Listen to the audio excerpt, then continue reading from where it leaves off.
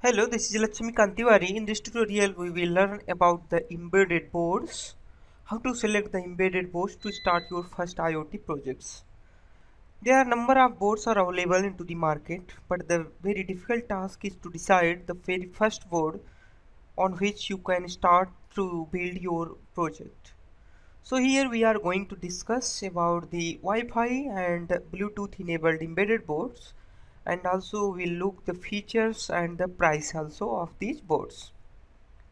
So the very first we are going to discuss about the Wi-Fi enabled embedded development boards and uh, before that we have to understand what are the four main factors which are always involved into the selection so especially these four factors are maximum throughput and power consumption maximum distance range and the web access that is known as a gateway so if we look uh, into the typical distance range meter so here we are discussing NFC, Bluetooth Smart and Bluetooth Classic, Wi-Fi for IoT and the sub gigahertz.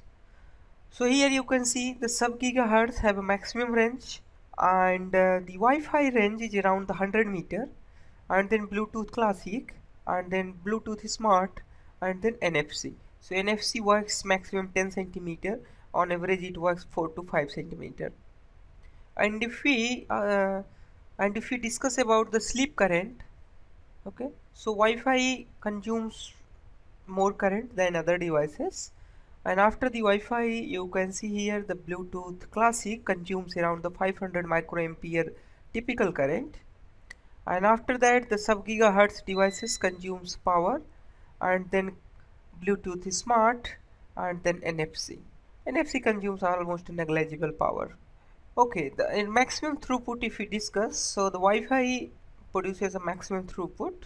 Here it is only given for 2.5 to 3 megabit per second, but typically Wi-Fi can go up to the tens of megabit per second. And after this, and after this Bluetooth Classic, after this Bluetooth Classic produces maximum throughput as comparison to the others. Then sub gigahertz and then Bluetooth smart and then NFC and if we discuss about the battery life so Bluetooth smart perform outstanding.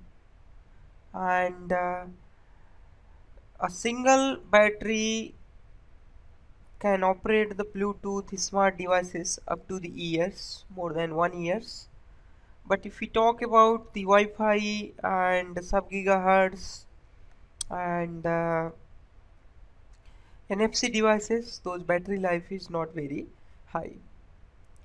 Okay? So now let's discuss about the embedded boards. So the very first embedded boards is CC3200 Wi-Fi development boards and it is made by the Texas Instruments. Uh, there are two variety available CC3200 development board. Or you can say a launch pad here. And it also has CC3100 only Wi-Fi modules. So only Wi-Fi modules has a network processor and Wi-Fi TCP stack.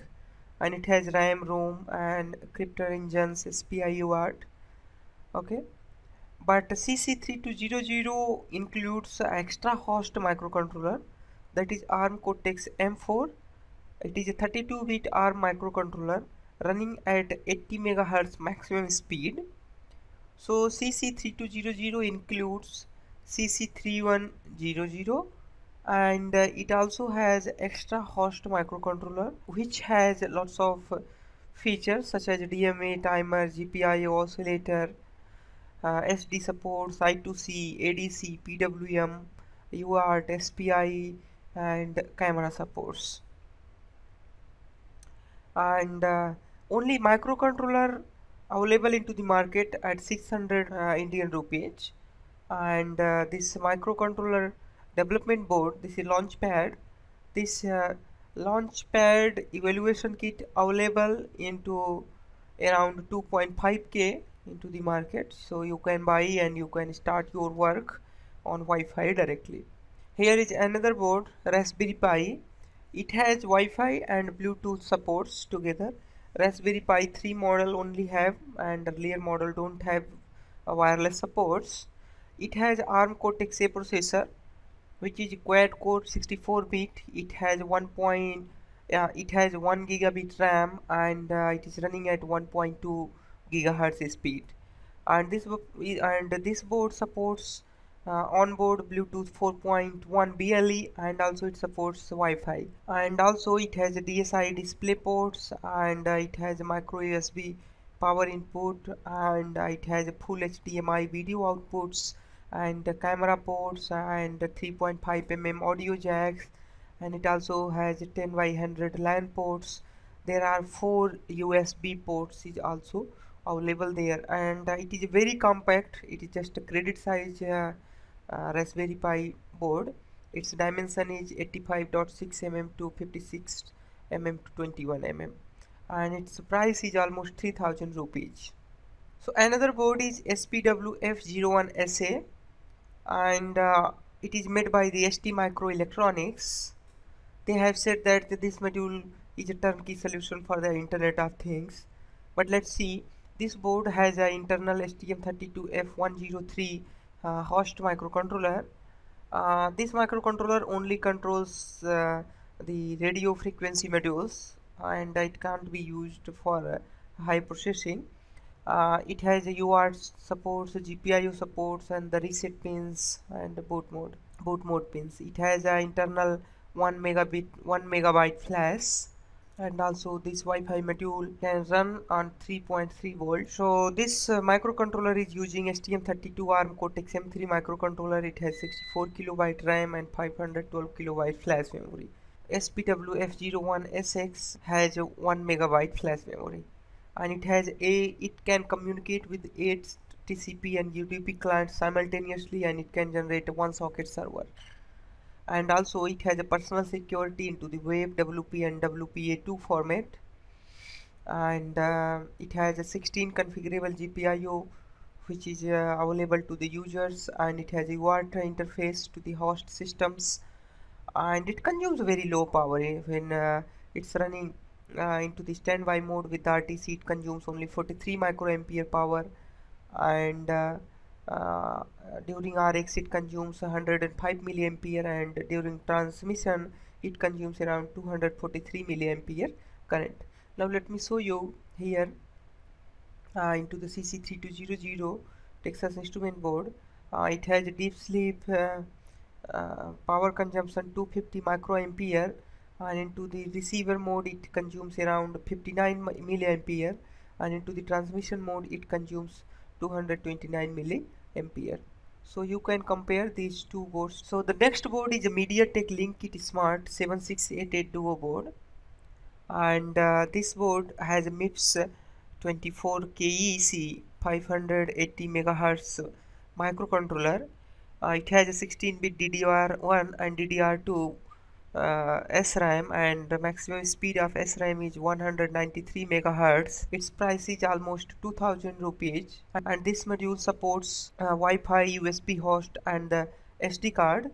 And uh, the ADC pin is also available to the users, PWM pins, I2C, SPI and I2S and UART is available to the user so that user can interface this uh, module to the external world. And another Wi-Fi board is Photon and uh, this photon board have a Wi-Fi module and with microcontroller and uh, there are so many GPIO pins are available to the users.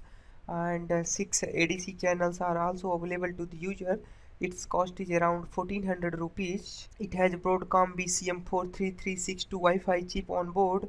And uh, it has ARM Cortex M3 STM32F205 RGY6 microcontroller and uh, it is running at maximum speed of 120 megahertz. And uh, it supports 1 megabit 1 megabyte flash memory and 128 kilobyte static RAM.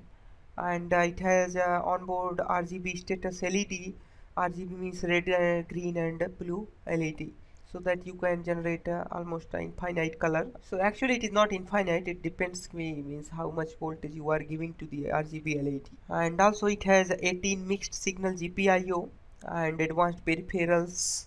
It is open source design so anyone can customize it and it supports the real-time operating systems uh, and it supports the soft AP setups and it is certified by FCCCE and IC. And here is another board. It is available into the 1000 rupees and this board is designed by the Microchip. It is RN1723 and if we discuss about the architecture of this board it has ADC 32-bit RISC core 128 KB static RAM it has ROM it has a crypto oscillator so that you can provide AES security support GPIO SDIO SPI and event driver it has programmable state machines 2 GB non-volatile memory and sensor interfaces timers RFID support.